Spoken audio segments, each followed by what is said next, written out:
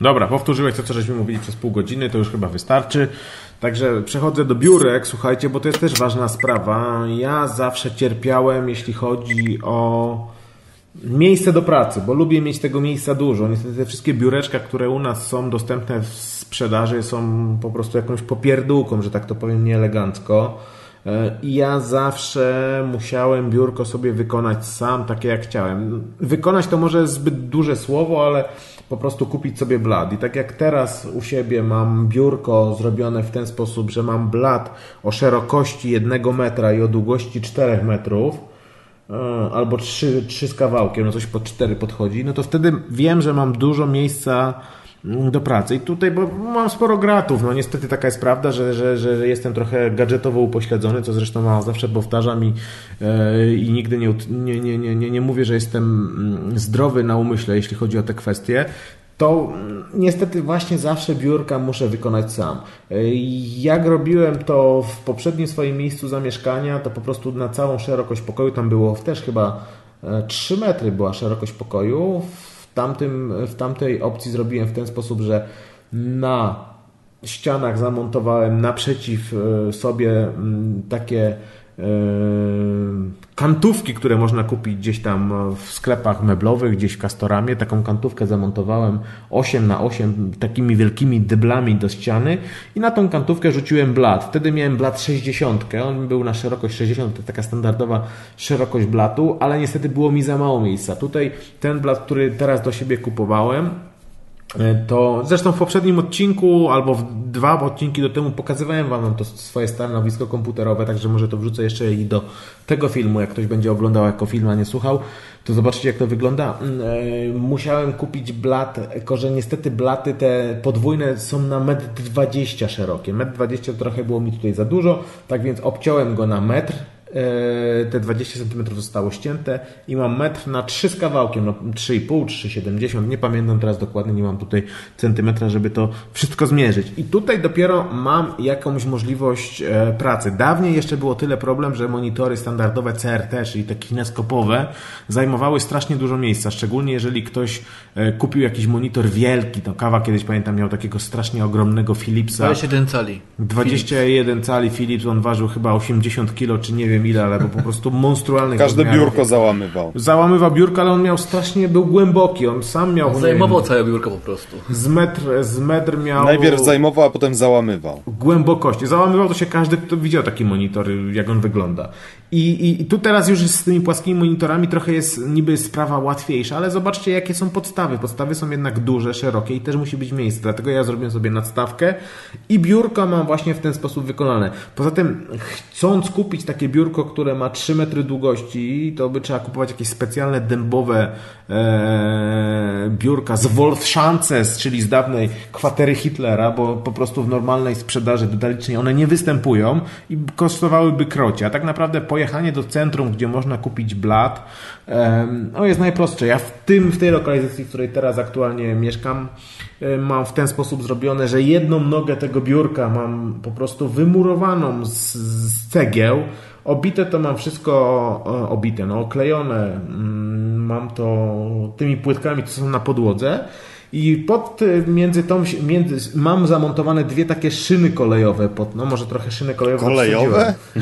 No mam takie, no naprawdę o, o 6, no 6 na 10 mam takie, e, taki, taki profil kwadratowy, stalowe dwie jak gdyby szyny wstawione pomiędzy tą wy, wymurowaną z cegieł nogą, e, a w, i, i, druga strona jest, jest wmurowana w ścianę, także po prostu może tu przychodzić tysiąc grubasów, jak to tak?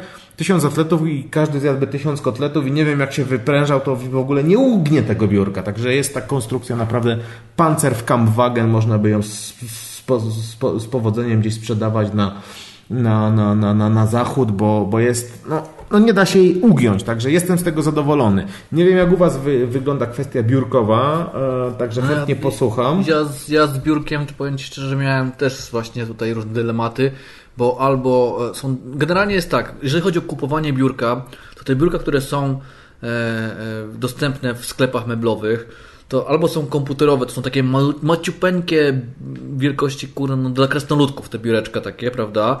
Tylko żeby tam coś postawić na jakiegoś małego laptopika, co jest w ogóle dla mnie jest też wykluczone, bo im więcej miejsca, tym lepiej. E, oczywiście wszystko zależy od tego, ile tego miejsca mamy, no bo możemy po prostu nie mieć. Można na przykład wyjścia, ale- pięć takich biurek postawić jedno obok drugiego, ale wtedy jest problem, bo mamy tą nogę w środku. To Tak, moje tak, rozwiązanie, także- gdzie mam rozpiętość 3 metrów bez żadnej nogi, bo mam, tak jak mówiłem, jeden element wmurowany w ścianę, a drugi mam po prostu osadzony na, na, na, na, na, na bloczkach, które stoją na, na, na, na podłodze, jest najlepsze, bo nie mam żadnej nogi. Mogę jeździć od jednego końca do drugiego Tak, i tutaj nie pojawia się problem problem. jest taki, że, że właściwie ciężko jest dostać takie biuro, które wielkie i właśnie bez ża- żadnych zbędnych rzeczy, jeszcze na dodatek w miarę tanie. Bo albo jest cena no naprawdę gigantyczna, jakieś, no nie wiem, powyżej 1000 zł już dro- Powyżej dużo. 10 tysięcy, bo ja patrzyłem na takie biurka, to, tak, no- to one były na specjalne zamówienie i to się zaczynało Tak. nie od 10 czy 12 tysięcy. A to biurko zrobiłem, nie wiem, za 500 zł. Tak, i, i, i tak jak mówię, no to ciężko jest coś takiego trafić. Ja jak szukałem, to to co mi się podobało jeszcze, to można kupić biurka używane tak naprawdę. Jak są jakieś likwidacje jakiejś firmy, czy coś w tym stylu, czasami na, nie wiem, na Allegro, czy gdzieś e, e, można, można czasami wyhaczyć takie fajne e, biurka. Ja widziałem takie biurka e, ze szklanym blatem, to takie bardzo grube szkło, tam nie wiem, no, no, za 2 cm ma grubości taki blat, także jest spokojnie wszystko udźwignie. I one miały nogi w kształcie litery takie jakby coś jak litera Z, coś w tym stylu. Yy, Także nie przeszkadzały tutaj po bokach. Można było dwa takie biurka zestawić. Normalnie takie biurka są bardzo drogie. yy, Dostępne na, na, na Allegro były tam powiedzmy takie używane, ale w bardzo dobrym stanie yy, za, no nie wiem, 700-800 zł, jeśli dobrze pamiętam. No ale są biurka stojące właściwie- teraz w modzie, no ale to ja bym chyba się pochlastał przy takim biurku ale, stojącym. ale ja w ogóle powiem Ci, że no nic takiego tak naprawdę godnego uwagi to nie da się znaleźć według mnie. Jedyne rozsądne, e, e, jedyne rozsądne rozwiązanie to jest zrobić sobie po prostu biurko. Nie dość, że to taniej wychodzi, to jeszcze można sobie zrobić dokładnie tak, jak się chce, czyli z dużą powierzchnią i, i, no i, i, i w takim stylu, jakim się chce. Ja też mam biurko robione e, właśnie z blatu, może, może powiedzmy jak to tak z grubsza, bo wmurowanie sobie biurka i szyn kolejowych to nie każdemu chyba się uda tutaj. To, jest, to już jest dosyć ekstremalna No sytuacja. tak, ale jak się kto było związkowcem w PKP, to się ma dostęp do szyn kolejowych. No moje rozwiązanie jest prostsze trochę, ale podobne. E, czy blad jest kupiony e, na jakiejś promocji w Obi e, supermarkecie, czyli to kosztowało tam, nie wiem, za metr bieżący, nie wiem, chyba 40 zł. Takie blaty są, on był wtedy w, szerokości 2,60 m i, i 60 cm szerokość no, samego biurka. Długość 2,60 m, szerokość 60 cm. Przy czym wcześniej s- sprawdziłem, że no, nie będę tego przetaszczył po, e, po schodach, więc sprawdziłem, że do windy wejdzie około 2,20 i takie biurko można, takie blat sobie można zamówić w, praktycznie w każdym takim sklepie typu Castorama, Obi, nie wiem, Praktiker. E, e, Można też sobie zlecić przycięcie e, takiego biurka do mniejszej szerokości. Ja, ja właśnie przyciąłem do 2,20 E, Tyle akurat właśnie weszło do windy i bardzo dobrze to zadziałało. E, Do tego e, takiego biurka trzeba dokupić po prostu nogi. E, Te nogi biurka też są dostępne generalnie w każdym takim sklepie. E, Standardowa chyba wysokość to jest, żebym nie skłamał, nie wiem, 70 cm czy 60, nie, 70 cm chyba. U mnie też jest wysokie, takie, żebym mógł sobie wygodnie Bo oprzeć. Ja maksymalnie sobie po prostu pod 90 siebie robiłem biurko, biurko. Tak jak sobie wysoko siadłem, to tak, tak, tak, tak, tak zrobiłem. No To, standard, to są standardowe, tak jak mówię. Ja, ja ponieważ to biuro 220 to też jest dosyć długie biurko, e, dlatego e, ja tych, tych, nóg, tych nóg na początku kupiłem 5, 4 w zestawie, jedno dodatkowe. To też trzeba zwrócić uwagę, żeby można było kupić dodatkowe. Potem dokupiłem jeszcze jedno, bo stwierdziłem, że no, lepiej będzie, jak będzie wię- więcej punktów tych po- podparcia. Czyli 6 nóg jest e, do tego biurka. Oczywiście 4 po bokach, dwie z tyłu. I dodatkową rzeczą, którą. e, To jest, to jest w sumie zmontowanie. Ja mam dwie lewe ręce do takich robót, a, a naprawdę to jest bardzo proste do zrobienia. E, Wystarczy jeszcze dokupić wkręty do drewna i w zasadzie no, e, jakimś. Śrubokrętem może się to przykręca i w, no nie wiem, w godzinę. Czyli średnio zasadzie inteligentna blondynka daje radę. No naprawdę, jak ja to zrobiłem, to każdy może to zrobić. Przykręcić sobie takie nogi. Tu nie trzeba jakiejś specjalnej dokładności, naprawdę jest to bardzo proste. E, Dodatkowo jeszcze tutaj e, to biurko jest zamontowane do ściany, żeby zwiększyć stabilność. E, To już są takie zwykłe nie wiem jak się to nazywa, te, te blachy takie, takie, takie w kształcie litery L. One są prawda? głównie do gips kartonów gdzieś tam w takich sta- stanowiskach, gdzie są nobi. Są różne takie blachy, właśnie kątowniki To są, blaszane. tanie, to są tanie jak barszcz po prostu, to kosztuje kilka złotych. E, Trzy takie blaszki w kształcie litery L e, i biurko nie jest zamocowane bezpośrednio do ściany, tylko odsunięte nieco od ściany, jakieś tam, no nie wiem, to jest 7-10 centymetrów. E, Żeby kable e, Co, przerzucić. co daje, tak, co daje dodatkowe miejsce na nogi i na kable właśnie, to jest bardzo A czy 60 sprawa. cm nie wydaje Ci się za małe? Wydaje mi się, ale po prostu wtedy taka akurat była w promocji, takie były, te, te 90 cm były strasznie drogie. No i poza tym to jeszcze jest kwestia miejsca, prawda? To, to trzeba mieć na to miejsce, nie każdy, nie każdy aż tyle ma, ale, ale przy płaskich monitorach to nie jest taka tragedia, to wystarcza tak naprawdę. Eee, I co jeszcze? Ważne jest, żeby na przykład nie wyrzucać tego, tej końcówki, yy, z tej końcówki 400 cm. Eee, zrobiłem sobie na przykład podstawkę pod UPS, czyli dokupiłem też cztery kółeczka, dokręciłem i naprawdę można sobie tutaj samemu zrobić takie, takie urządzenia. Tak samo można sobie zrobić też nadstawki na to biurko, też są takie dostępne, mniejsze czy większe te nóżki i tak samo można sobie te, te, te, te, deski zamówić w każdym takim sklepie, to przytną i zrobią to, to, to co chcemy.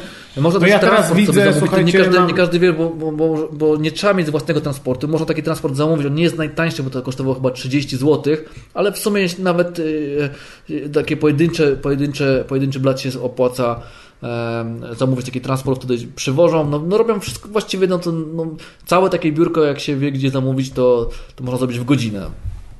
Dokładnie, ja teraz Wam podeślę na Skype'ie, bo znalazłem dla Mariana biurko, bo Marian jest e, specjalistą biegowym.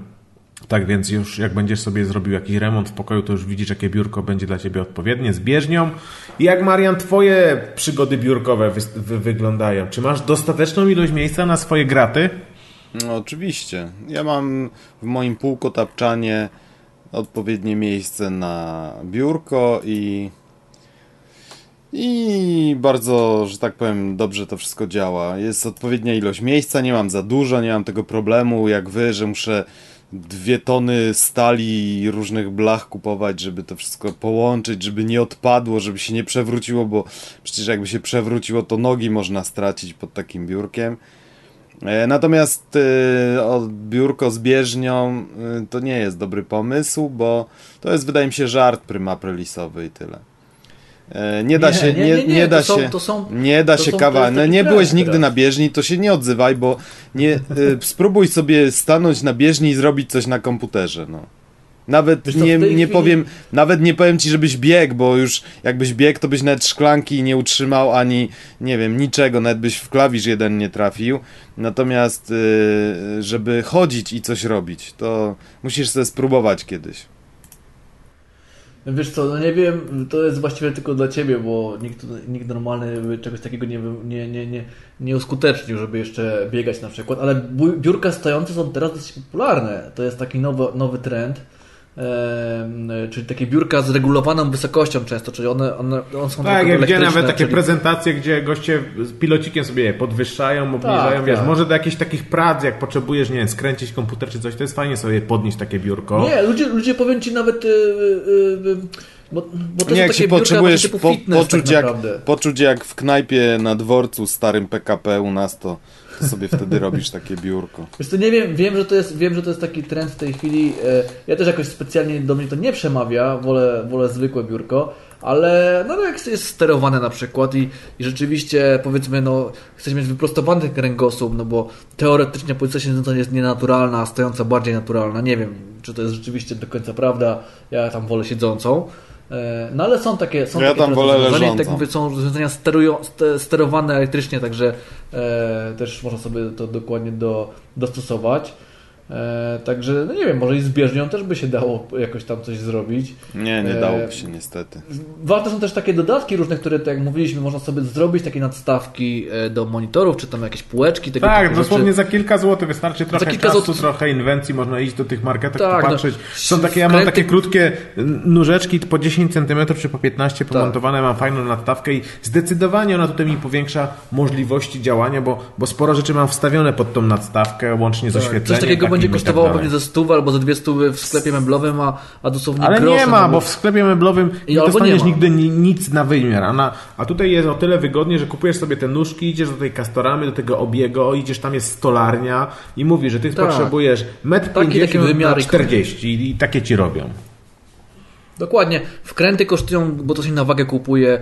E, też od razu można powiedzmy, żeby nie kupować takich wkrętów w, w jakichś tam zestawach, bo to są drogo wychodzi. Najlepiej jest kupować wkręty na wagę. Są grosze dosłownie. Nawet się nie da kupić chyba mniej niż tam 20 gram czy coś w tym stylu. To jest mnóstwo tych wkrętów. E, jeśli ktoś. Do, dobrze taki, wtedy będzie taki śrubokręt elektryczny, prawda? E, w, tym momencie możemy też polecić na przykład. W Castoramie, tak? E, Mag, firmy Mag, taki śrubokręt za 70 czy 80 zł w tej chwili kosztuje. Tak, to dla czarodziejów firmy MAG. tak, to jest pr- prosty śrubokręt taki właśnie elektryczny, który no bardzo, bardzo to przyspiesza jeszcze takie prace. E, I tak jak mówię, dobrze jest takie biurko ustabilizować, jeżeli mamy na nim dużo sprzętu i ciężkiego, to dobrze jest takie biurko ustabilizować jeszcze mocąc je do ściany na przykład właśnie e, no wkrętami tam już odpowiednimi. To też są grosze, to wszystko są grosze tak naprawdę.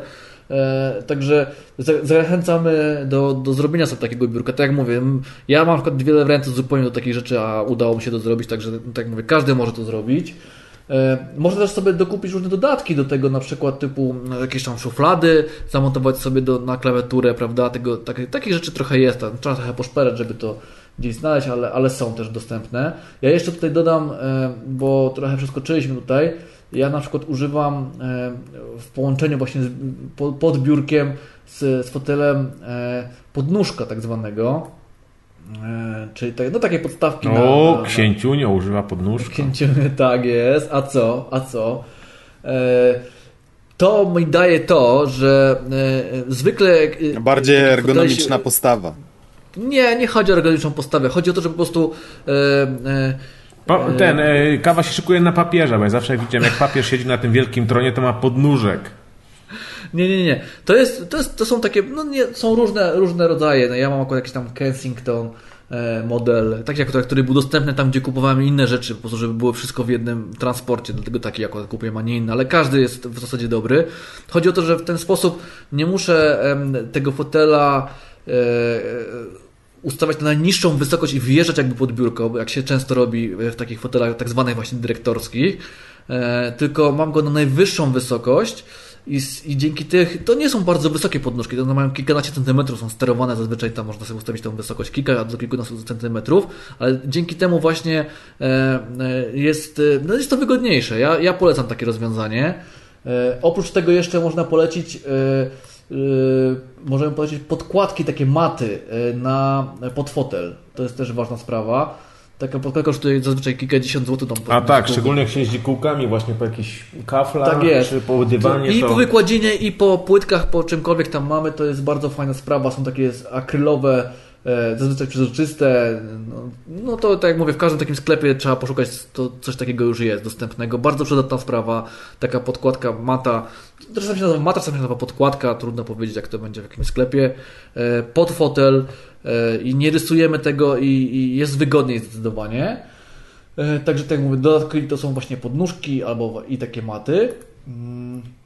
No i tak jak mówiliśmy, też można sobie zrobić nadstawki. Także wiele rzeczy można sobie zrobić i można sobie takie stanowisko pracy naprawdę fantastycznie zorganizować za dużo mniejsze pieniądze niż powiedzmy cena w miarę jakiegokolwiek biurka ze sklepu meblowego. Za, zachęcamy naprawdę do tego, żeby spróbować, bo to jest no, naprawdę jest bardzo prosto, już prościej się nie da e, niż te kilka wkrętów wkręcić i, i, i zamówić sobie no, przycięcie. Tak, a w zdecydowanie sklepie. możemy zrobić miejsce pracy pod siebie, czyli taką wysokość dobrać, żeby nam dobrze, y, fajnie łokcie siedziały, żeby nam fotel wjeżdżał pod biurko, bo często jest tak, że mając fotel, y, biurka są troszeczkę niższe i nie jesteśmy sobie nie jesteśmy w stanie wsunąć się pod fotel, bo nam po prostu podłokietniki nie wchodzą. Także y, pod biurko, przepraszam, bo nam podłokietniki nie wchodzą.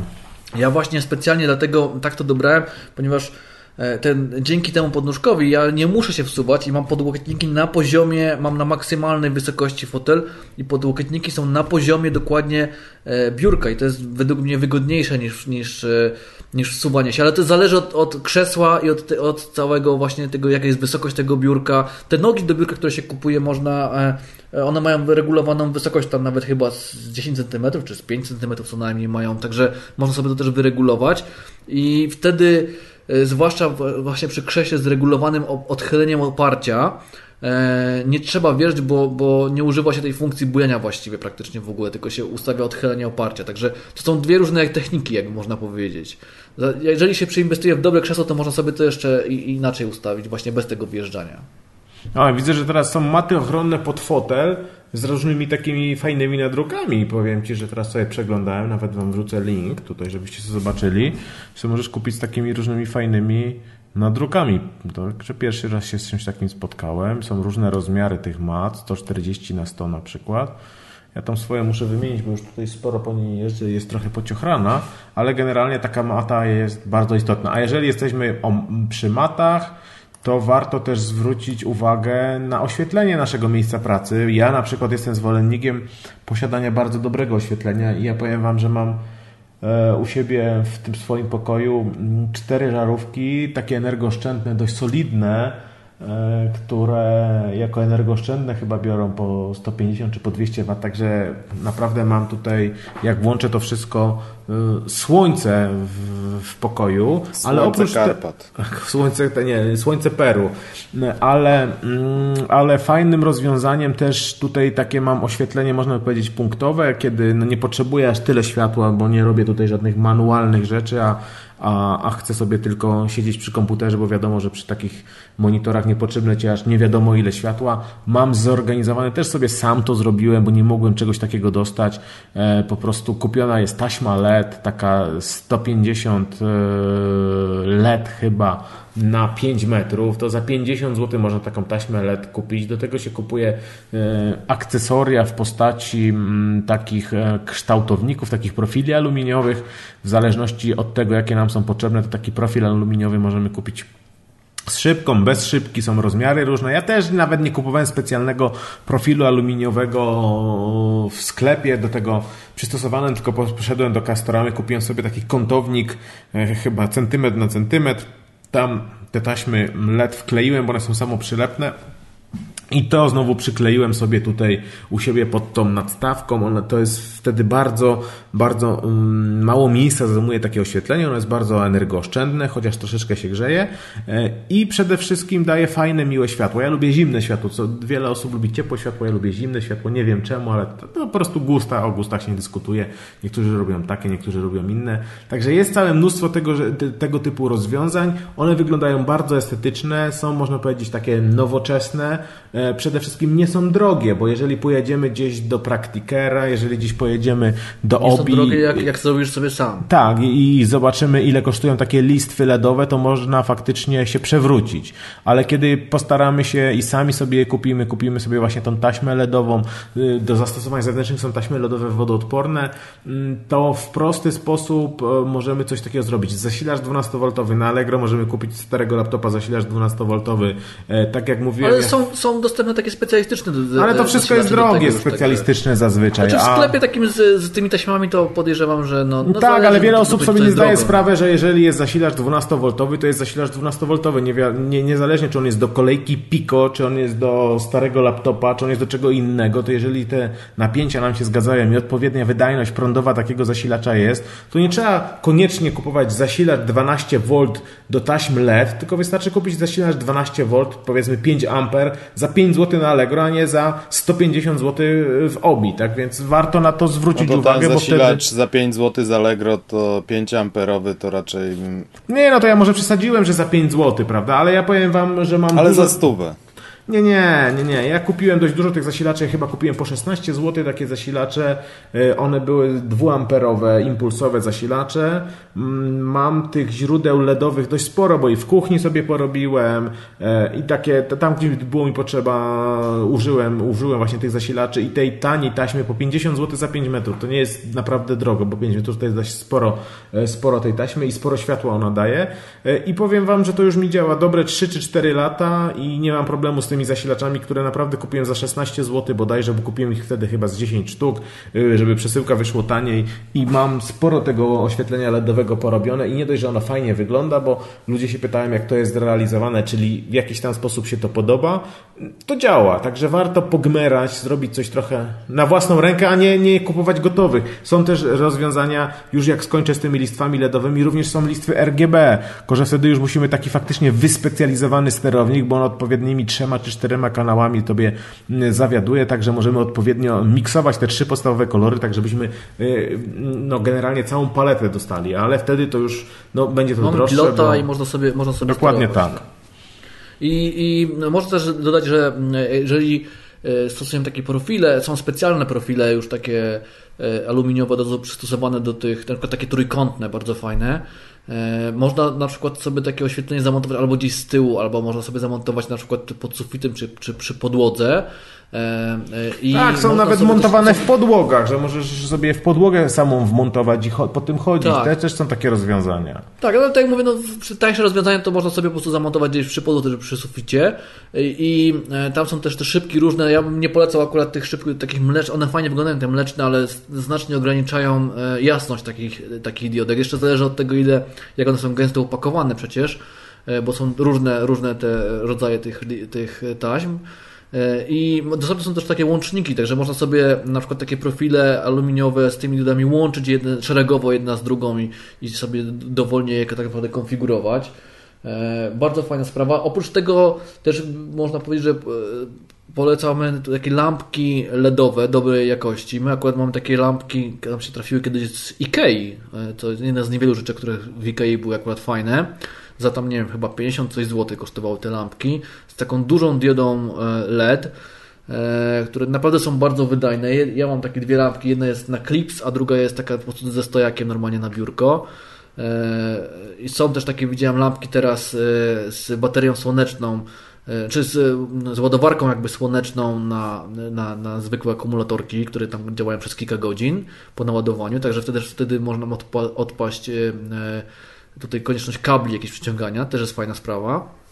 E, także można sobie to zamontować, najlepiej zamontować tak naprawdę gdzieś z tyłu za monitorami, albo za biurkiem, albo pod biurkiem, no coś zależy jak już to ma to, to ustawione, żeby to światło było tak światłem odbitym, a nie bezpośrednio, prawda, e, po oczach dawało. Dokładnie tak.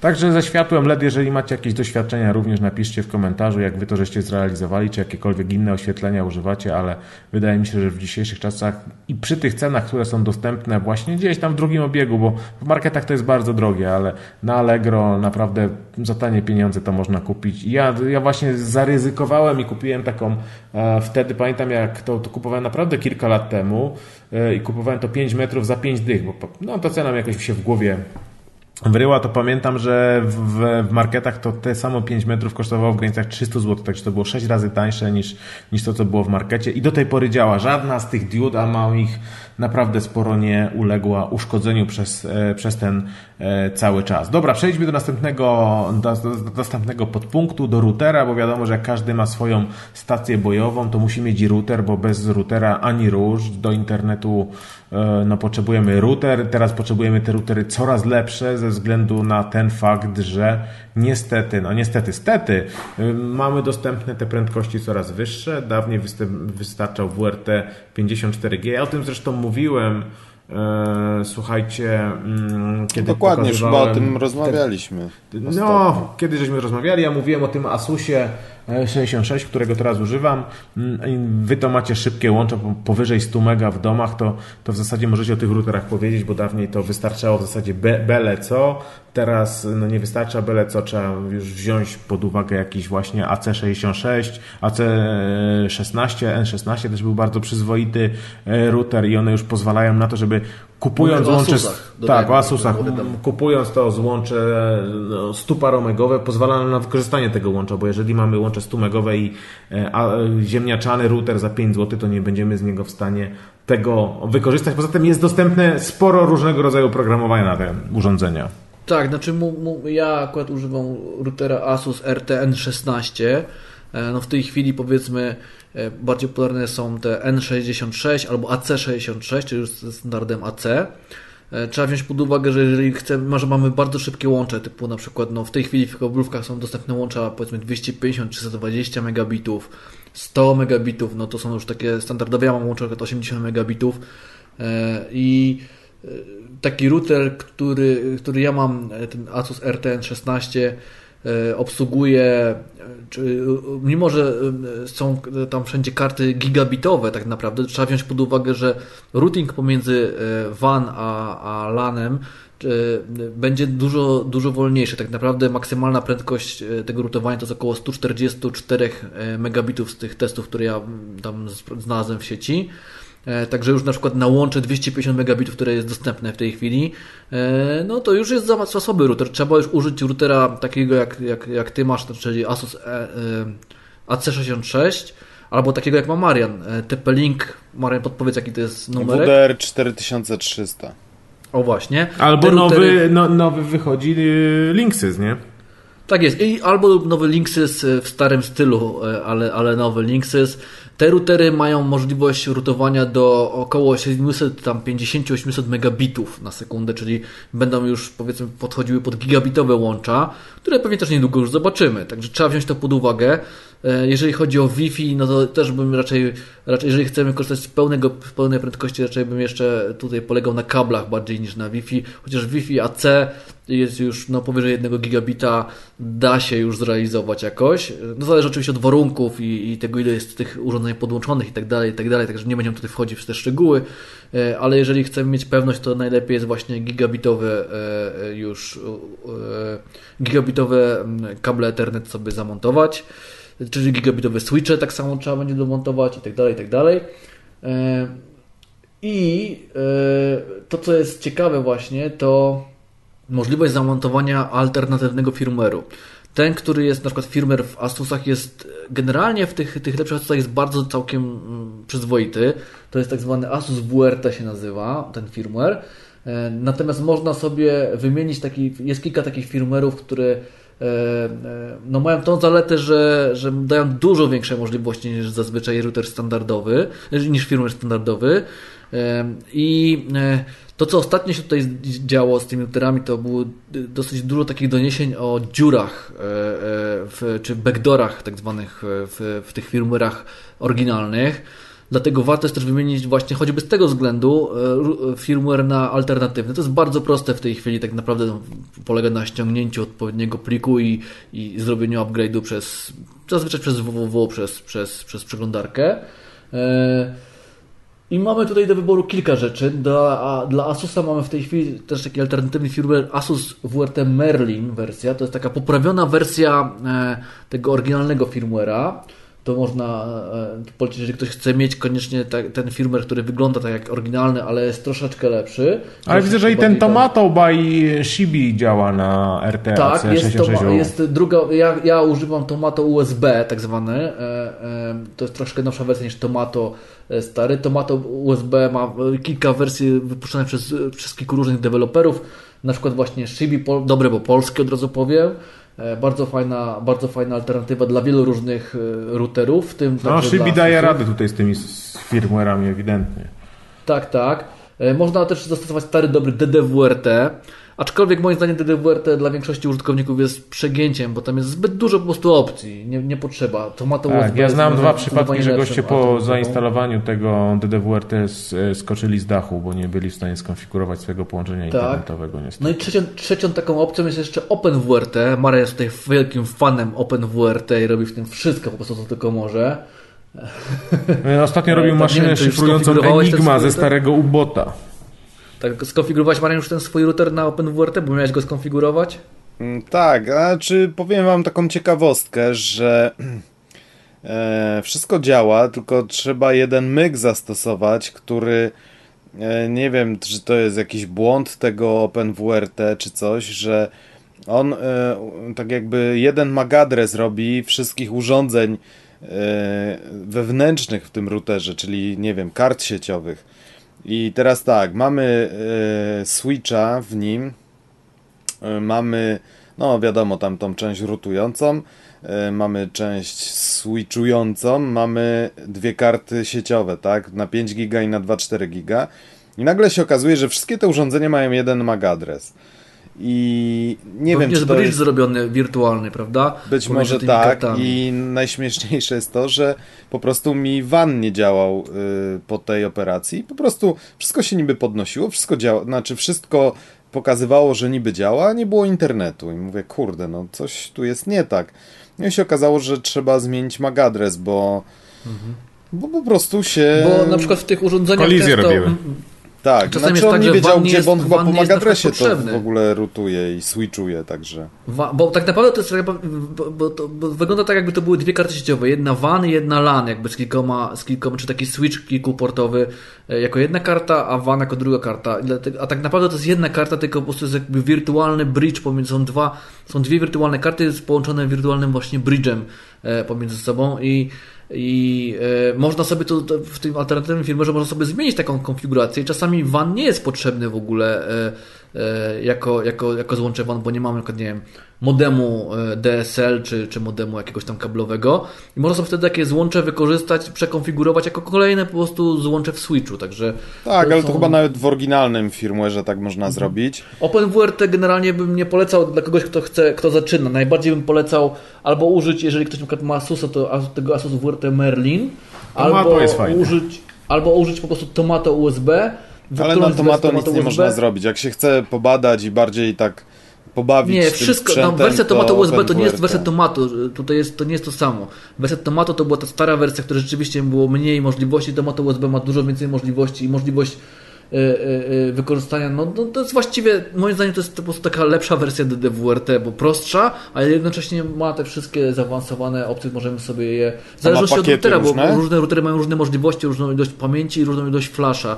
Ja wybrałem właśnie tego Asusa RTN 16, konkretnie ten model, dlatego że ma e, 32 MB flasha i 128 MB RAMu, więc można na nim dosyć sporo różnych rzeczy do, doładować i, i no, to jest dosyć szybki router. N, N66 czy AC66 ma nawet chyba 256 MB RAMu. TP-Link, którego ty masz, też chyba ma 256 MB RAMu, nie pamiętam dokładnie, czy może tak. mniej. Nie, chyba ma Jakoś tak. 256. I to są, to są te routery, które po prostu można sobie tam poszaleć i po, pokonfigurować, dodać do Dokładnie tak. dodatkowego Ja na swoim przecież mam podłączoną kamerę USB, mam tam jakieś różne dziwne rzeczy porobione na tym, także no można sobie zrobić pomiar temperatury, Tak. można sobie, no po prostu no jest tyle pakietów różnych i To jest właściwie taki normalny, normalny to, że... bo to jest Linux regularny. On, on, on, to, to jest Linux, y, jest właściwie normalny taki komputer, można powiedzieć, wtedy się z tego dzieje. Można robić różne rzeczy dodatkowe, e, czy na przykład, nie wiem, drukarkę sobie podłączyć, czy, czy no, no wszystko, co się da na USB. No tak, można serwer plików, z tego zrobić serwer wydruku. No ja taką każdy kartę w zasadzie dowolny pakiet można doinstalować. mo- Mogę sobie odtwarzać muzykę z routera, prawda? Tak, dokładnie, muzyczną tak na można USB. No, no różne są naprawdę wynalazki. E, oprócz tego, jeżeli mamy naprawdę duże już łącze i, i powiedzmy większe potrzeby, możemy sobie wymyślić e, taką alternatywę jak e, na przykład jakiś stary komputer albo komputer na, na, na płycie Mini ITX i oprogramowanie typu PFSense. Które, Ja mam taki komputer używamy i polecamy. jako główny tak, router. Nawet chyba masz e, filmik tam zrobiony z takiego Tak, tak, komputera tak, opartego tak, na mini ITX e, płycie i, i, i właśnie z PF Sensem. E, I to jest świetna alternatywa jako firewall. To już jest takie ostateczne rozwiązanie e, wszystkiego tak naprawdę. No to, że jak nie macie na Cisco 200 tysięcy dolarów, no to trzeba Tak wziąć jest. darmowego PFSensa, który będzie lepszy od tego Cisco. Tak, i albo kupić stary, starego komputera, stary komputer e, na Allegro za 200-300 zł na przykład i naprawdę będzie, będzie to to samo, co, co, co takie super drogie rozwiązanie. E, I co? No i tyle można powiedzieć. Tak mówię, jeżeli albo kupić sobie router i wymienić firmware, albo właśnie sobie postawić PF Sensa, to są, to są nasze Słuchajcie, jeżeli jeszcze jesteśmy o routerach, to bardzo popularną sprawą jest u nas właśnie korzystanie tylko i wyłącznie opieranie się o Wi-Fi. I powiem Wam szczerze, że jest to fajnie, jeżeli siedzicie w jednym pokoju albo w małym mieszkaniu, ale jeżeli macie mieszkanie już trochę większe, macie kilka pokoi, ewentualnie macie mieszkanie dwupokojowe, to się może okazać, że z tym Wi-Fi nie jest tak fajnie. I nie należy tych wszystkich kabli ethernetowych odrzucać gdzieś do śmieci, z tego względu, że czasami może się okazać, że nie, nie macie po prostu pełnego pokrycia. Poza tym pasmo mm, 2,4 GHz w tych routerach podstawowych jest już bardzo zapchane. To jest tylko zaledwie 11 kanałów w tej naszej wersji europejskiej. Jeżeli mieszkacie w dużym osiedlu, w dużym bloku, gdzie każdy ma y, uruchomiony mm, router Wi-Fi, to następuje po prostu no, zakłócanie się nawzajem tych sieci, bo, no, bo nie da się na tych 11 kanałach po, po, po- pomieścić 100 gości. Tym bardziej, że wiele osób y, korzysta z jakichś mocnych urządzeń. Często były w modzie dokupywania jakichś wzmacniaczy tych y, mm, sieci Wi-Fi i tu się zaczyna problem. Jedynym rozwiązaniem na, to, na ten problem to jest przejście na 5 GHz, gdzie mamy więcej tych kanałów i jest to mniej popularne, ale znowu, im wyższa częstotliwość, tym mniejszy zasięg. Niestety jest tak, że im te wyższe częstotliwości są, bo tak naprawdę to są fale elektromagnetyczne, czyli im wyższa częstotliwość, to dochodzimy do fali widzialnych i łatwo sobie to wyobrazić, że fale widzialne, czyli te na, o najwyższej częstotliwości, nie przenikają nam przez ściany. Nie da się latarką przez ścianę zaświetli, zaświecić. Tak samo jest z tymi częstotliwościami właśnie już wyższymi, czyli im wyższa częstotliwość, tym mniejsza przenikalność przez te wszystkie elementy y, budynku, szczególnie jeżeli jesteśmy w jakimś budynku żelbetowym, to naprawdę może się pojawić problem i to trzeba brać pod uwagę. Jeżeli macie możliwość, jeżeli wprowadzacie się do nowego budynku, robicie jakiś remont, to puśćcie sobie kilka kabli ethernetowych, tak żeby po, po, połączyć kilka takich no, istotnych rzeczy, nie wiem, jakiś tam swój stolik, gdzie będziecie sprzęt hi-fi, który teraz też bez internetu w zasadzie nie, nie funkcjonuje, stolik telewizyjny, połączycie gdzieś, gdzie będziecie mieli router połączony, bo później się zaczynają problemy, zaczynają się kombinacje, mm, bo nie ma zasięgu Wi-Fi, próbujecie zainstalować jakieś repeatery, powiem Wam szczerze, ja kilka u siebie próbowałem rozwiązań z repeaterami e, sieci bezprzewodowej i żadne mi się nie spisało. Nigdy nie uzyskałem żadnych pozytywnych efektów, jeśli chodzi o to. E, Jeżeli macie jakieś rozwiązanie, które działa i że się sprawdzili, to chętnie bym je przetestował albo by napiszcie, jakie to jest, bo mnie się nie udało. Sporo osób próbuje takiego rozwiązania jak rozszerzenie swojej sieci kablowej, czyli tej ethernetowej, podstawowej, e, czy gigabitowej, czy tej 100, MHz, 100 megabitowej za pośrednictwem sieci el- elektroenergetycznej. Są te urządzenia do kupienia, możemy sobie, jeżeli jesteśmy na tym samym kablu, że tak powiem w cudzysłowie, to możemy ten mm, internetowy sygnał przesyłać po tej sieci elektrycznej, ale Znowu mam takie, takie urządzenia, znajomi testowali. Często się pojawiają awarie tych urządzeń, bo, bo, bo mój, mój, mój tutaj dobry przyjaciel testował rozwiązanie D-Linka i często były problemy właśnie jeśli chodzi o to urządzenie, że ono po prostu przestało, przestawało działać, było uszkodzone, także naprawy gwarancyjne, tak więc stary, dobry kabel, który nie podlega zakłóceniom, nikt Was nie podsłucha, nikt Wam nie zakłóci Waszej transmisji, macie położony.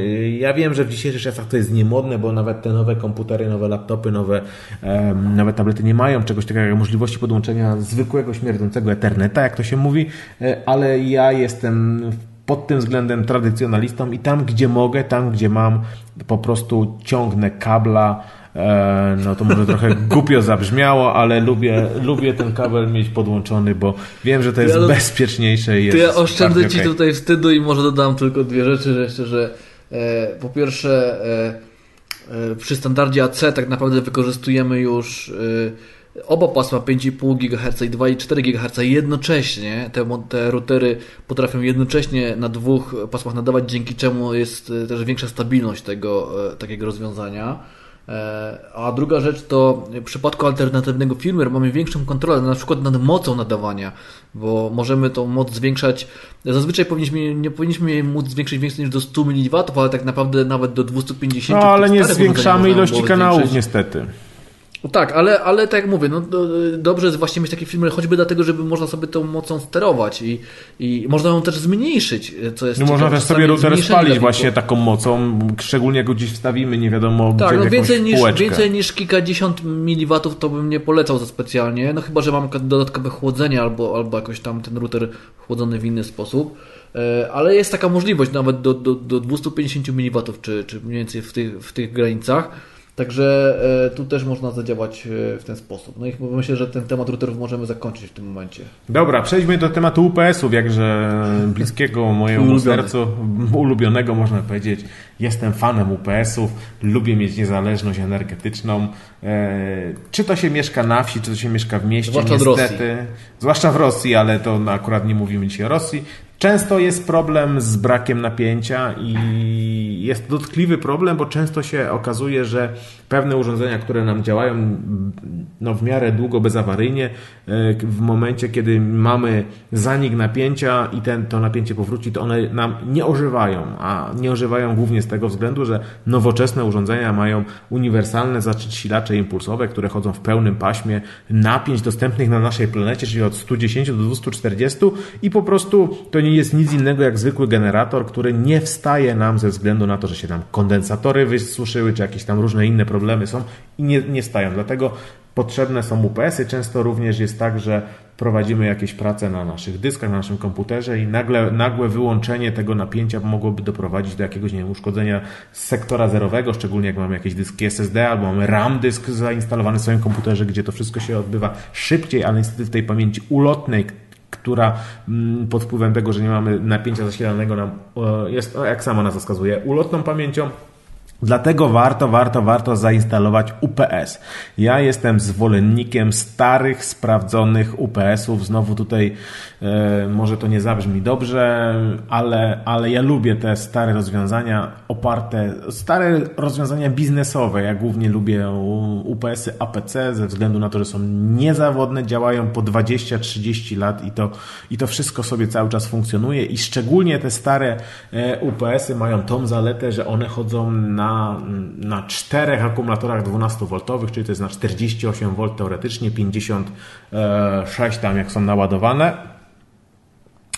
I, i, i, trzeba, trzeba, trzeba wziąć to pod uwagę, że te UPS-y nie zaczynają tanieć z, z, z upływem czasu, tylko zaczynają drożeć. Okazało się, że te UPS-y są genialnymi, jeśli chodzi o zastosowanie w nowoczesnych systemach solarnych, które są coraz bardziej popularne ze względu na to, że wchodzą chińskie panele, które mają dość sporą wydajność prądową przy niskiej cenie i wiele osób właśnie korzysta z takich UPS-ów do zasilania całych instalacji w swoim domu. Są to UPS-y o wydajności 5 kW, czyli dość, dość takiej dużej. No wiadomo, że tam się nie podłączy ogrzewanie jakiegoś, jakiejś farelki w dużych ilościach, bo na pewno jeden czy dwa urządzenia tego typu udźwignie, ale ludzie nawet projektując swoje nowe mieszkania biorą to pod uwagę, żeby zamontować takiego UPS-a, który będzie podtrzymywał całe, całą infrastrukturę domową. Są również takie UPS-y APC dostępne, jeśli chodzi o zasilanie trójfazowe. Są to UPS-y naprawdę mocno konfigurowalne.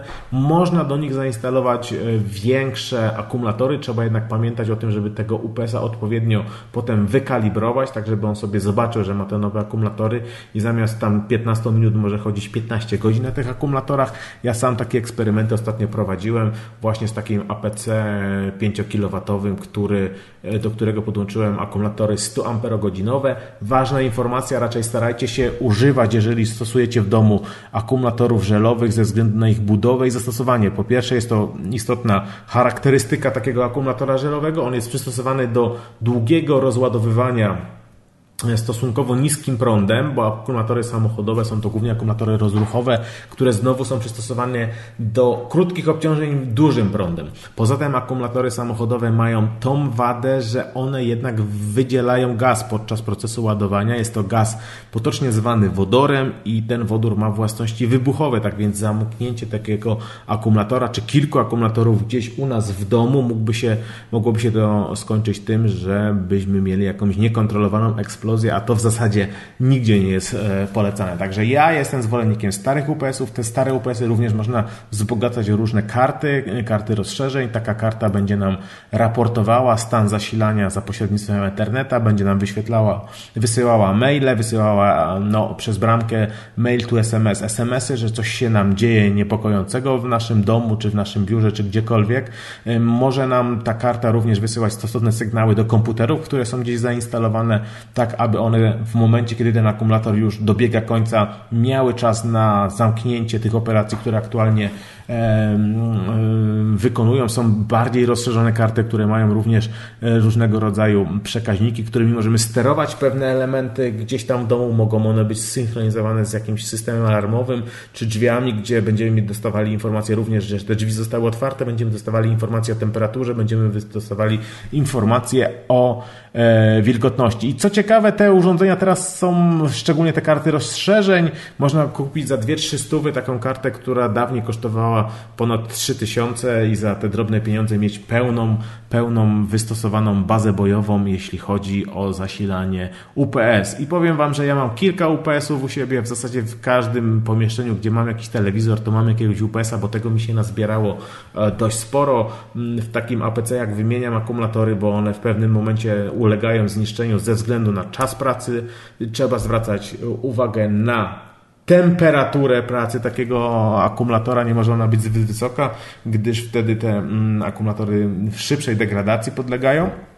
Warto wziąć to pod uwagę, ale często jest tak, że jak mamy cztery akumulatory połączone szeregowo, to następuje jakaś awaria, ale jest jeden czy dwa do wyrzucenia, dwa można jeszcze użyć. Ja do takich jakichś tam innych starych UPS-ów też te akumulatory e, używam. Dobra, straszny tutaj monolog zrobiłem. Może do Mariana, czy ty korzystasz, czy ty lubisz UPS-y, czy widzisz potrzebę zastosowania e, normalnie w miastach tego typu rozwiązań, czy to jest taka zbędna fanaberia?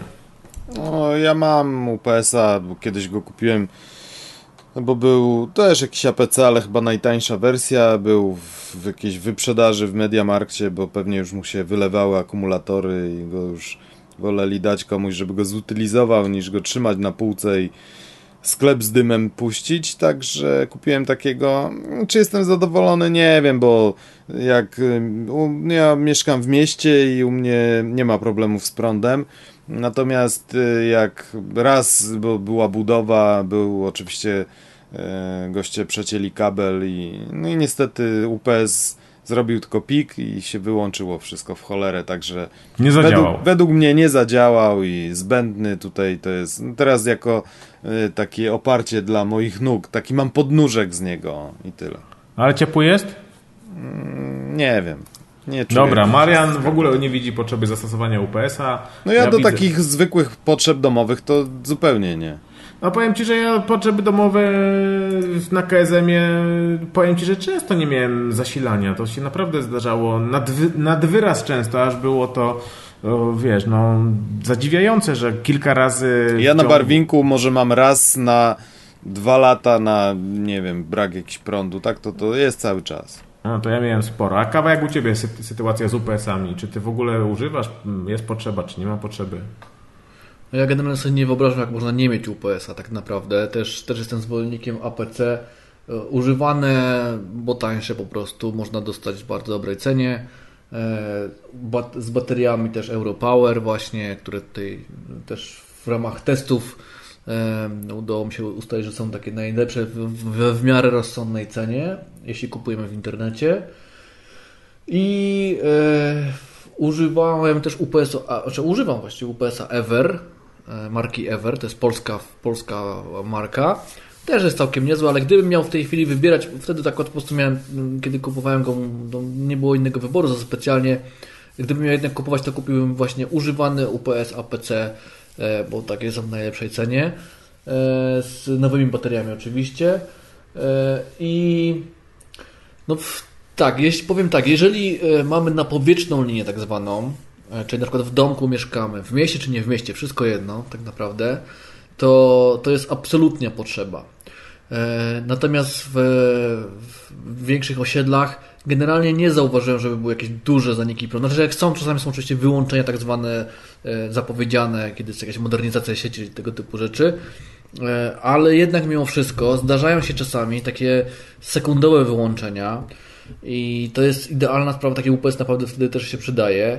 Bo nic tak nie wkurza, jak na przykład mieć otwarte 20 tysięcy okienek i, i, i reset komputera w tym momencie i jeszcze na dodatek na przykład jakieś problemy z dyskiem czy coś w tym stylu. E, czasami te, też jest tak, że. E, Wiesz, no, występuje zjawisko naturalne typu burza i jest często tak, że jest tak jakieś jest, tam właśnie. wyładowanie, jest doziemienie, są te urządzenia, które odprowadzają ten potencjał do ziemi, ale następuje krótkie wyłączenie i załączenie e, sieci zasilającej. Dla lodówki nie, nie ma problemu, no chyba, że pójdzie ten potencjał bezpośrednio do nas, ale już dla urządzeń komputerowych, dla jakichś tunerów satelitarnych, no jeszcze, dysków jeszcze sieciowych jest problem. Przy liniach napowietrznych na przykład y, mamy problem E, na przykład stabilności tego napięcia, bo UPS oprócz tego, że podtrzymuje e, napięcie w przypadku zaniku zasilania, Także stabilizuje to napięcie. W lepszych UPS-ach można sobie to ustawić, powiedzmy, przy jakim, przy jakim napięciu on podbija to napięcie do właściwej, właściwej wartości, czyli do 230 V. E, I przy, zwłaszcza przy na powierzchniach to napięcie się bardzo potrafi wahać. I to mówimy tutaj o, o, o powiedzmy, nie wiem, 190 V na przykład. To mi się zdarzało w wahaniach non-stop do 210 na przykład, ale nigdy nie miałem 230 przy napowietrznej linii. Przy, przy, przy, przy mieszkaniu, przy, przy instalacji w blokach, czy w wieżowcach, czy, czy w jakichś takich większych skupiskach generalnie jest to dużo lepiej, wypada, ale też się przydaje i niektóre urządzenia być może na pierwszy rzut oka nie wyglądają, żeby są, że, że, że wymagają takiego zasilania czy takiego, takiej ochrony, ale potem się okazuje, że na przykład no, nic to nie zawoła nagle takie zasilanie, takie, e, takie urządzenie pada, nie wiadomo dlaczego na przykład, albo jego czas użycia się znacznie skraca. To jednak się przydaje i moim zdaniem dobrze jest mieć UPS-a e, i dobrze jest mieć podłączone więcej, nawet niż komputer, tylko więcej urządzeń do niego. Oczywiście w ramach w rozsądku, bo jak wiadomo, nie są, nie są niestety najtańsze urządzenia. No, mogłyby być Czy urządzenia tańsze, może nie są najtańsze, ale można kupić je za w miarę rozsądne tak, ceny, używane, używane, ale najdroższe tak. są akumulatory. Szczególnie tak jak mówiłeś, wybierając te Europowery, które no, dużo dłużej e, działają. Jest nawet taka tak. wersja tych Europowerów z wyższej półki, gdzie one po, ponad 10 lat mają wy, wy, wytrzymywać, to jednak jest to spory wydatek, szczególnie, że w takich UPS-ach tych większych to wchodzi dwa lub cztery takie akumulatory 17 Ah godzin i to już jest wydatek no, dobrych, no, dobrego tysiąca złotych powiedzmy na takie akumulatory, no, jak nie lepiej. To jest około 3 do 5 lat powiedzmy takie, takie baterie powinny wytrzymać, w zależności od, od, no, od, od, od zużycia, no, po prostu trudno tu powiedzieć dokładnie, ale od 3 do 5 lat powinny wytrzymać takie właśnie te, te, te, te lepsze.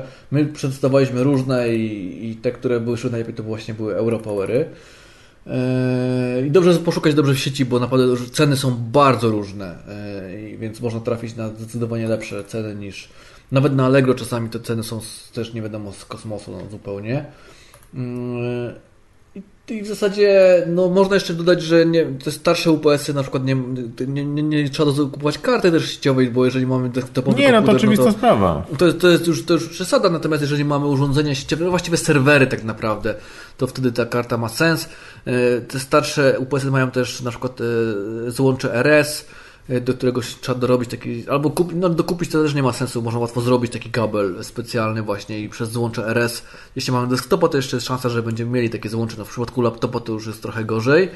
Chociaż czasami przez te przejściówki USB RS też to działa no, nawet w miarę dobrze. Warto powiedzieć, że jeszcze są dwa typy UPS-ów, czyli takie UPS-y online'owe albo offline'owe, czyli takie UPS-y, które pozwalają na załączenie napięcia nawet w momencie, kiedy nie mamy napięcia w sieci oraz takie, które wymagają tego, żeby on był najpierw zasilony z sieci 220, on jak gdyby wtedy dostaje ten impuls, żeby 50 Hz generować i dopiero wtedy może to zasilanie podtrzymywać. Także też w zależności od potrzeb, jakie my mamy, e, trzeba wybrać taki, taki UPS jak e, no, albo tego offline'owego, albo online'owego. Ten offline'owy, czyli ten, który bez sieci nie jest w stanie wystartować, zazwyczaj jest sporo tańszy niż takiego, który ma tak zwany zimny start i w każdym momencie możemy go uruchomić. Dobra, myślę, że z UPS-ami żeśmy pokrótce wyczerpali temat, bo myślę, że cały odcinek możemy na ten temat zrobić. Jo, zbliżamy się do końca. Słuchajcie, teraz są switche, huby i dyski NAS. Słuchajcie, ja zrobiłem monolog, teraz do Was należy rozwinięcie tych tematów. E, do nas, czy do, czy do nas, czy do nas, tak? Dobra, w, dużym skrócie, jeżeli chodzi o Switche, to w tej chwili, jeżeli kupować to Switche, e, no ponieważ niestety tych urządzeń jest coraz więcej, które mają, czy jest ten temat e, e, powiedzmy Internet of Things, czyli coraz więcej urządzeń będzie miało internet, wiele ma Wi-Fi, ale wiele właśnie jeszcze ma cały czas ka- kabelek, kabelkiem można je podłączyć. Ja też jestem, też preferuję właśnie podłączenie kablem, jeśli tylko to jest możliwe i w miarę wygodne. Także jeżeli kupować Switche, to, to standardzie gigabit i raczej też szukać e, powiedzmy 8, bo na szczęście są takie pięcioportowe Switche, ale lepiej kupować właśnie większe, więcej, więcej portów już od razu na przyszłość, bardziej się to opłaca. E, Tutaj w zasadzie w Switchach nie ma co za dużo powiedzieć, bo no, po prostu Switch to Switch, no i tyle. nic, się tu, nic się tutaj nie wymyśli, e, albo go potrzebujemy, albo nie potrzebujemy. I co do hubów, no oczywiście huby USB, czy huby i przełączniki różnego rodzaju HDMI, czy DVI, e, też no, zależności od tego jak stosujemy, no, no jeżeli zawsze jest to potrzebne, to możemy to, to jeszcze kupować. W tej chwili już coraz więcej e, jest tych złącz USB montowane w standardzie, nawet w laptopach, więc to też w zasadzie, no nie wiem, nie jest chyba Ja nie używam. niezbędny huby USB, bo ja nie używam też. Kiedyś używałem huba USB, ale... w Jak miałem laptopa, to używałem, a teraz powiem Ci, że te, w tym moim mam chyba ze 14 Tak, ale nawet w USB tej chwili w laptopach, powiedzmy w takich urządzeniach, jak my używamy klawiatury e, czy myszki Logitecha, które mają tak zwany Unifying Receiver. Zresztą inne firmy też chyba tego rozwiązania podobnego używają, także już, już liczba tych, tych e, złączy USB nie jest aż tak bardzo istotna. Natomiast e, ciekawą rzeczą jest e, tutaj można powiedzieć takie rozwiązanie programowe, darmowe e, i open source'owe, e, o którym można powiedzieć, to jest Synergy, taka, taka aplikacja, która pozwala nam na używanie monitorów poprzez Ethernet, czyli właściwie to nie jest switch, tylko jakby pozwala na wykorzystanie z kilku różnych na przykład komputerów, monitorów w, jednym e, komputerze. Taki wirtualny, można powiedzieć, e, switch to jest, coś w tym stylu. Czy nie switch, tylko takie rozszerzenie, prawda, że nawet w różnych systemach, pomiędzy różnymi systemami można e, to stosować. Polecam, jak ktoś potrzebuje na przykład, czy ma kilka komputerów, takie rozwiązanie, kilka monitorów, żeby połączyć je właśnie w ten sposób przez Ethernet, zamiast jakiegoś specjalizowanego switcha. I w zasadzie, nie wiem, no do Switchu tutaj nie ma co dużo mówić, czy, czy, do, czy do hubów. E, może przejdźmy od razu do e, e, systemów typu NAS, czyli Network Attached Storage, czyli dysków sieciowych inaczej mówiąc, które tak naprawdę w tej chwili większość w ogóle tych urządzeń, o których mówimy, czy routery, czy, czy właśnie takie urządzenia typu NAS, to tak naprawdę są urządzenia przeznaczone niby w jednym celu, ale dzięki zastosowaniu alternatywnego firmware'u e, można, to można stosować do wielu różnych celów. E, Ja akurat nie używam NAS, także tutaj może zostawię Wam e, co do tego właśnie większe doświadczenie co do używania tego typu systemów. Marian ma największe urządzenie, y, doświadczenie, także proszę bardzo. Ja mam Synology urządzenie, ale starą wersję i już doświadczam jego po prostu słabości. Nie, no działa, działać działa, jest tam jakaś strona, no i tam oczywiście moje wszystkie pliki, ale yy, jeśli miałbym coś poradzić i, i coś komuś doradzić, polecić, to e, nauczony doświadczeniem e, należy wybierać teraz wersje dwudyskowe albo więcej, na pewno nie jednodyskową. No chyba, że ma się ją jako taki serwer powiedzmy do filmów, które się ogląda na telewizorze. No to, to wtedy można Ale taką... można, mówiąc wielodyskowo, można na myśli, żeby używać W rajdzie, w trybie tak. Tak, oczywiście. Tylko i wyłącznie, bo po prostu y, te dyski, które są teraz produkowane, no to można powiedzieć, że są, nie wiem, produkowane chyba przez niewidomych Chińczyków i po prostu, y, żeby je dobrze poskładać, to muszą je rączkami podotykać. Po prostu jakość ich jest no, tragiczna i no niestety, no tak wiesz, no, no ja już doświadczyłem, wszystkie moje dane zniknęły, także... Chyba że, chyba, że mówimy o dyskach SSD, ale to jest trochę... Nie, no nie, SSD się zupełnie nie nadaje do takiego celu, także wiesz. E, Także, także no, mówimy o zwykłych dyskach i no i po prostu mówię, trzeba tylko i wyłącznie używać e, wersji no minimum dwudyskowych i dwudyskowych i w rajdzie. I po prostu wtedy jest problem z głowy, no bo małe jest prawdopodobieństwo, żeby dwa dyski naraz padły. No jak jeden padnie, to zawsze się odbuduje z drugiego, także. Tak, generalnie są dostępne wersje jedno, dwu, cztero i więcej dyskowe. E, ja również używam rozwiązania Synology, mniej więcej tego samego co Marian, bośmy to już kupowali dobrych 5-7 tak, lat temu. 110J model i to po prostu no u mnie działa do tej pory. E, fakt nie, no faktem, działa, u mnie też działa, ale po prostu jest słaby jak nie wiem. No WD Greeny wtedy pamiętam były takie e, dyski i faktycznie z nimi były problemy. Przede wszystkim trzeba zwracać e, uwagę na to, żeby go gdzieś nie zapakować gdzieś do szafki, nie zapakować gdzieś go. Ale to nie ma znaczenia, gdzie się go zapakuje, bo znaczy może szybciej padnie jak będzie w szafce, natomiast mój stoi na zewnątrz i po prostu no jednak to chłodzenie nie jest na tyle wydajne, żeby mu tutaj, temu dyskowi, temu, temu... Znaczy wiesz co, zazwyczaj jak padały dyski, to zazwyczaj padają w sezonie letnim, zazwyczaj padają dyski tym osobom, które gdzieś stawią go na przykład do szafki pod telewizor i zamkną tą szafkę, no jednak ten czynnik termiczny ma spore znaczenie, ale faktycznie lepiej wybrać... Tak, ale on się sam z siebie tak grzeje, że po prostu wiesz... No ja wiem, no ale jak nie masz chłodzenia, no to tym bardziej dla niego to źle wpływa. No tak, to wtedy nie, to wtedy się go da załatwić w miesiąc po prostu. Dokładnie tak, dlatego warto to brać pod uwagę. Tak jak Marian mówił, wziąć wersję dwu czy trzy dyskową i fajne jest to, że taki, taki NAS możemy zastosować do różnych zadań. Tak jak Marian powiedział, może być na nim serwer www, gdzie jest nasza strona, możemy sobie postawić jakąś bazę danych. Oprócz tego, że trzymamy pliki w wersji podstawowej, to również ten serwer nas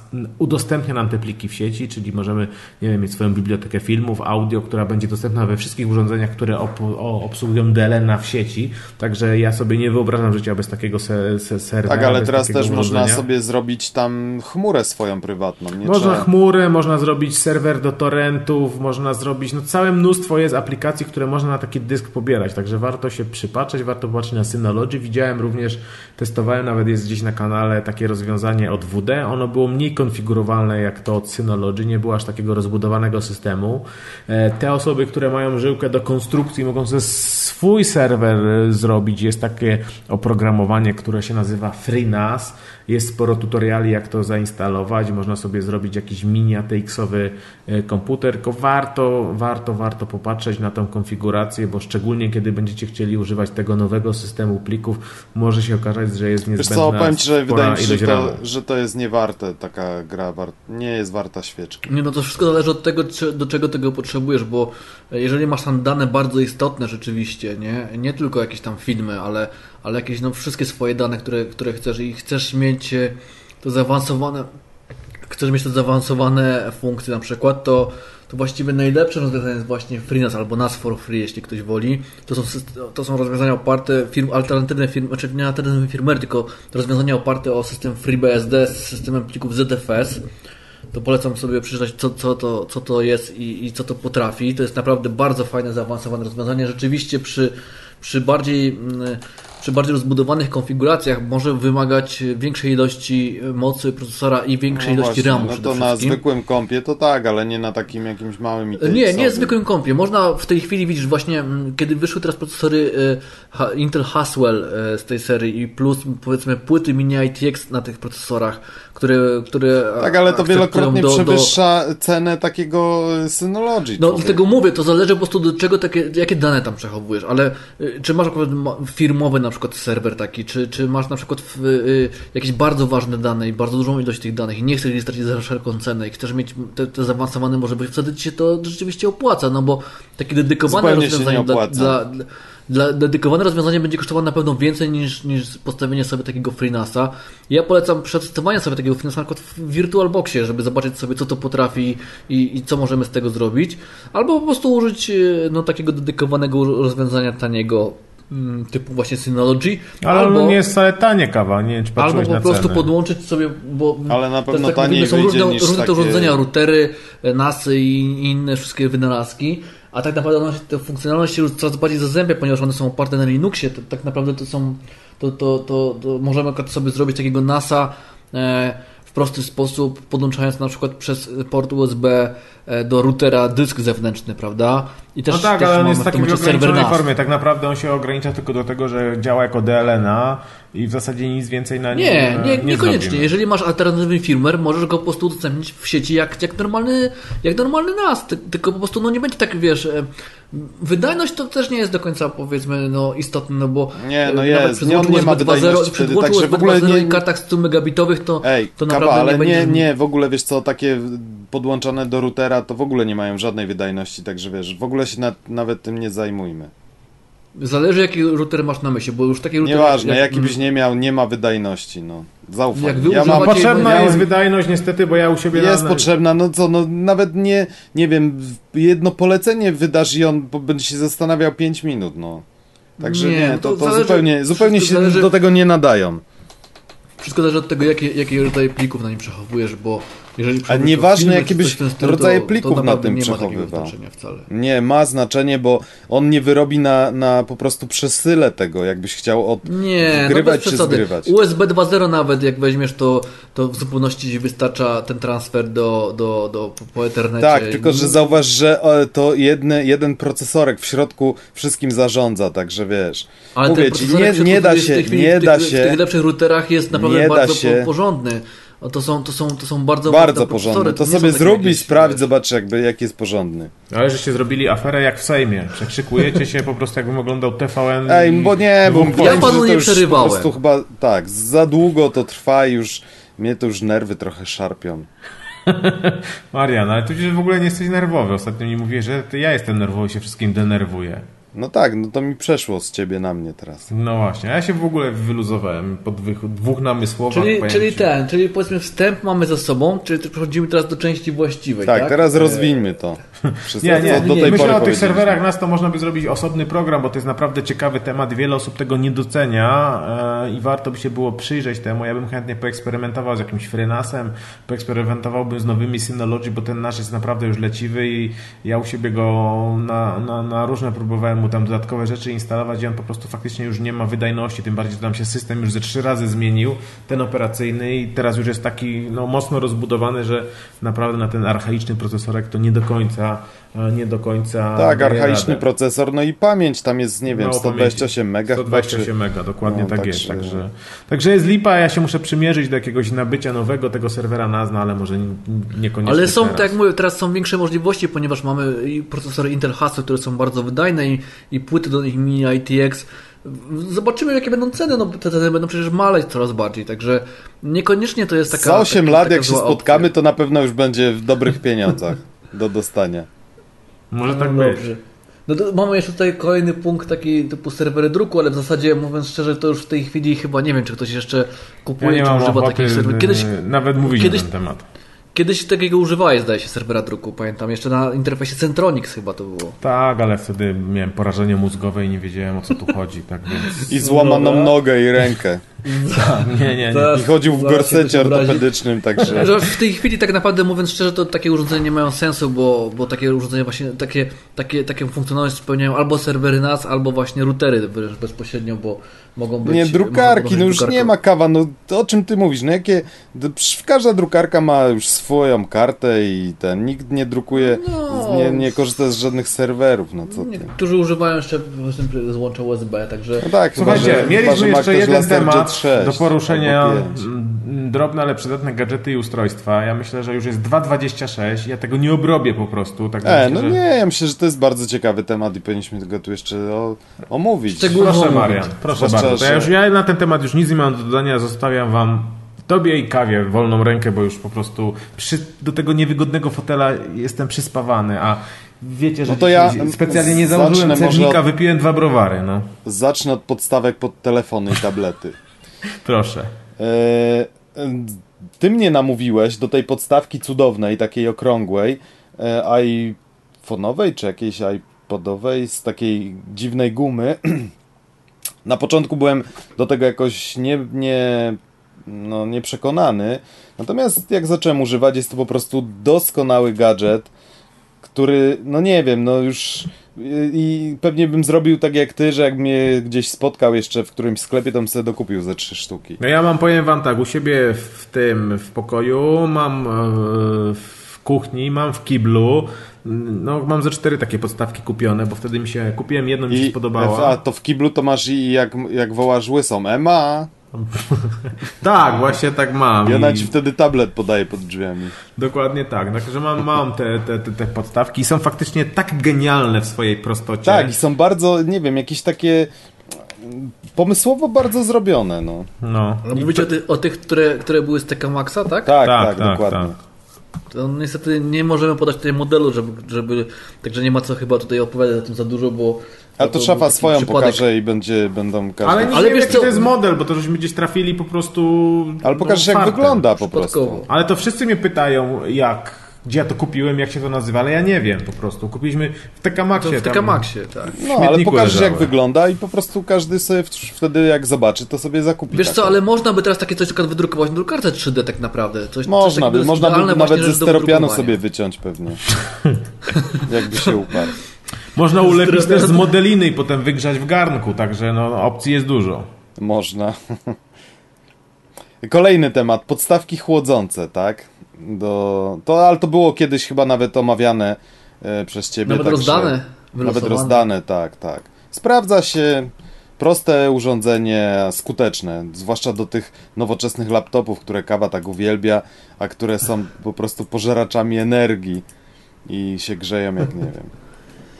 Nie, no podstawki przy, przy mocniejszych procesorach, przy tych, e, przy tych, które są w tej Przecież nie tyle o procesorach, ale jak już jeszcze odpalimy grafikę albo dwie grafiki, jak mamy na pokładzie tego komputera, Nic to naprawdę parzy klawiatura. Jak dłużej pracuje, to jak naciskacie te literki, to wam się na palcach wypalają, także to nie jest miłe. Nie, i już się tak rozmiękcza ta klawiatura, że jak się ją naciśnie za mocno, to potem zostaje taki... Tak, robi się z czekolady i się robi taka miękka.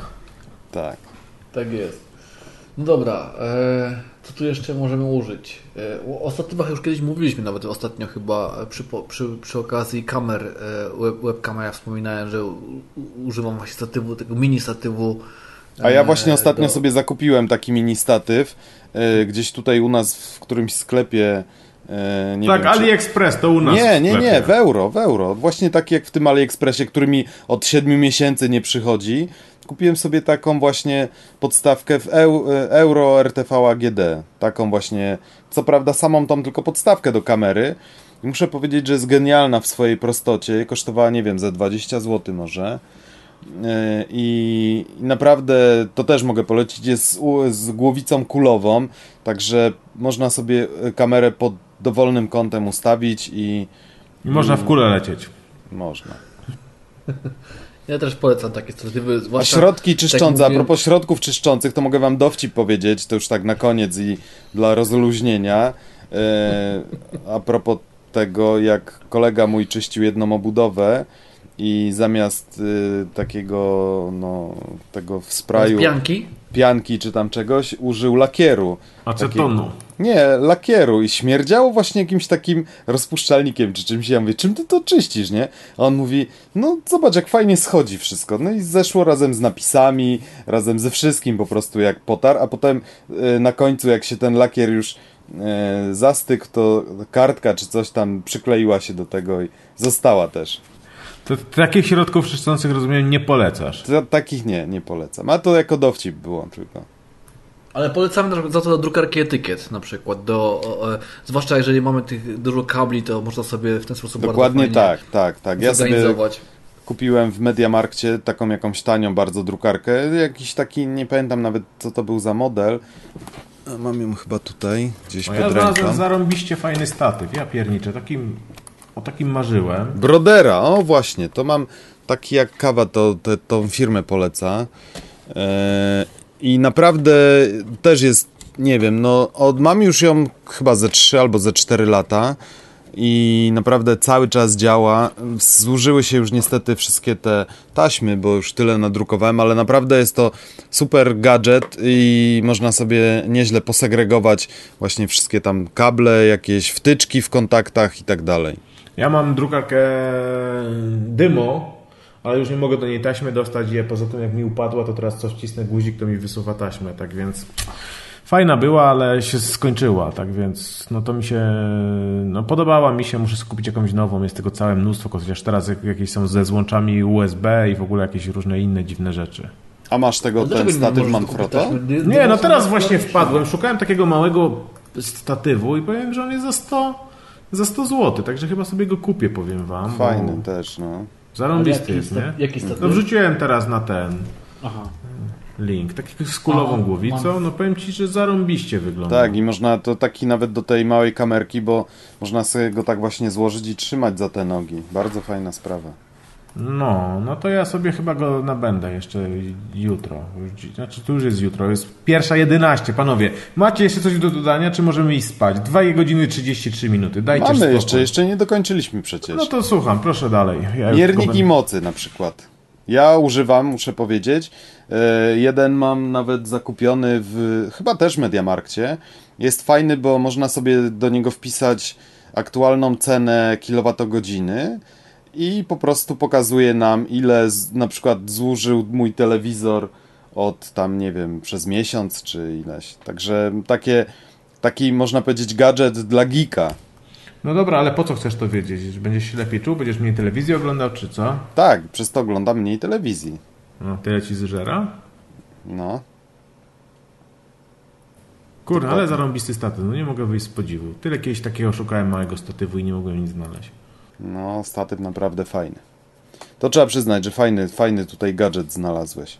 No, jutro go, jutro go kupuję, bez dwóch zdań.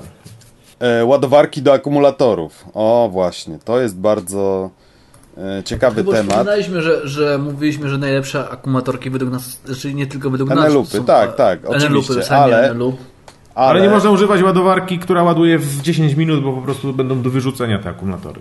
Dokładnie, ani w pół godziny, ani w godzinę. Po prostu akumulator no, musi te swoje odładować. No, ja nie mówię, że, żeby się 15 godzin ładował, ale, ale, ale takie ładowanie szybkie to nie jest dobre. No można raz na, nie wiem, jakiś czas sobie naładować, jak jest potrzeba taka szybko, ale jednak ładowanie takie e, im, im dłuższe, tym lepsze. No wiadomo, że, że no odpowiedni To znaczy, No nie- wiesz co, przy lepszych, przy lepszych ładowarkach powiedzmy e, można sobie wybrać ten prąd ładowania. E, Bez no, sensu. Miałem dobrą ładowarkę taką z wyświetlaczami, z tym. Kurnia, 3-4 cykle ładowania akumulatory były do wyrzucenia. One były gorące, jak wychodziły z tej ładowarki. Tak, i ja nawet, sensu. nawet się gotowały w środku. A teraz mam Enelupa akumulatory, Enelupa ładowarkę, która mi ładuje, nie wiem, właśnie z 15 godzin, Przez ale noc. już 25 tysięcy cykli mają te akumulatory i cały czas działają. No Ja, dokładnie. ja używam, ja używam trenelupów i ładowarki e, BC900, w tej chwili już widzę, że BC1000, e, które właśnie potrafi ładować osobne, osobne, e, osobno każdy akumulatorki, no ma różne fajne funkcje typu rozładowywanie, formatowanie tych akumulatorków. Też polecam właśnie taką trochę lepszą, ale to zależy, no tak jak mówię, no można też i po prostu zwykłą ładowarkę Eneloop, też oryginalną. Tak, a ja e, sobie kupiłem i- ostatnio y, w Lidlu była, w, nie wiem, w y, ostatniej jakiejś tam, nie wiem, wyprzedaży czy, czy, czy tej akcji e, ładowarka, nie wiem, kosztowała 30 zł, ale miała jedną podstawową funkcję, którą, której szukałem w tych wszystkich ładowarkach, że mogła że Samo się zniszczyć. nie, ładuje pojedynczo każdą, każde ogniwo, także nie ma znaczenia jakie sobie włożymy. E, czy sobie włożymy tutaj do jednej, do pierwszej tej celi e, ba, akumulatorek AA, do drugiej AAA, do trzeciej No, jakiś to- tam jeszcze inny. Dokładnie taką samą też używam. Tak. Znaczy nie ten model, tylko tak jak mówię, ten BC, BC900, ta ładowarka też tak, taką samą funkcję ma i można jeszcze wybrać ten prąd ładowania, chyba do 200 mili, e, miliamper do, do 900 właśnie, czy do 1000 No tak, ale kawa, u- wybierasz sobie do każdej baterii inny prąd. W ogóle ustawiasz co, prąd nie, to, to, ładowania. to trochę nie ma sensu w tym momencie. No bo właśnie, ale ustawiasz to ten robić? prąd ładowania, czy nie? Czy ty tak po prostu wkładasz i jakie tam jest, to, to takim Nie, ładujesz? nie, no tam chyba 500 mA jest ustawione. No to, za, bo im większy, Standardowo, im wyższy, tak? no to tym, tym szybciej się ładują, ale też, tak jak mówię, szybciej się to zużywają. Ja się gotują. No właśnie. E, Ta ładowarka, którą kupiłem w Lidlu, ona ładuje też prądem tam chyba nie wiem, 400 mAh albo, albo no nie, nie pamiętam, już teraz nie będę patrzył. 500, to jest tak mniej więcej 450 I- mAh Tak, i, ale też ma, też ma y, funkcję taką, że jak włożymy naładowany akumulator, to ona go sobie sprawdzi, że jest naładowany i na przykład go y, będzie, rozładuje sobie i zrobi mu taki cykl, po prostu rozładuje i Formatowanie. naładuje ponownie. Formowanie bardziej niż formatowanie. Tak, bo znaczy, no, formatować to będzie go ładować twardy, roz, ale... i rozładowywać do momentu, aż już pojemność się jakby nie będzie zwiększać. Także mm, można przywrócić jakby tą, tą, tą domyślną pojemność. Są Tak, bardzo fajne dokładnie. funkcje w sumie, także warto E, trochę nawet w taką lepszą ładowarkę od- zainwestować. Oczywiście ma wszystkie zabezpieczenia, e, pomiar napięcia i i to, to, to ładowanie się właśnie e, odbywa tak, że ona sobie tam mierzy napięcie, znaczy parametry w ogóle e, baterii i odpowiednio w odpowiednim momencie przerywa ładowanie. Także po prostu, no i a, no tak jak mówię, i może ładować sobie e, pojedynczo każdą baterię i tego mi brakowało, bo te ładowarki, które miałem, ładowały tylko albo dwie, albo cztery baterie, a ja akurat na przykład do mojej lampki na głowę y, mam trzy akumulatory i no i do jeszcze tutaj kilku różnych urządzeń mam, także mam trzy baterie po prostu muszę ładować i akurat to mi to mi podpasowało, że, że mogę sobie naładować trzy baterie, a nie muszę ładować czterech. No i to taka ciekawostka. Jak ktoś jeszcze dotrwał do tego czasu. Nieprawdopodobne. Pewnie nikt, no. Dobra, to kończmy już panowie, kończ was wstydu jest Ale bardziej dopiero rozkręca, widzę, no.